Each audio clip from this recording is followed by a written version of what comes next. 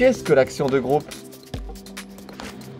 L'action de groupe permet à des groupes de consommateurs victimes d'une même entité de la poursuivre collectivement. Ce type d'action a l'avantage de donner plus de force à la plainte des consommateurs, mais aussi d'en réduire les coûts. Toutes les victimes sont représentées par un seul avocat, ils deviennent donc un seul nom et une seule entité. Le dossier de plainte est aussi plus fourni et comporte plus d'éléments, ce qui le rend donc plus complet et plus pertinent. Comment fonctionne l'action de groupe L'action de groupe concerne les consommateurs qui ont subi les préjudices d'un même professionnel, qu'il s'agisse d'un indépendant ou d'une entreprise. Pour faire marcher cette action groupée, il faut qu'au moins deux victimes décident de se regrouper pour se défendre collectivement. Elles doivent s'adresser à une des associations nationales de défense des consommateurs.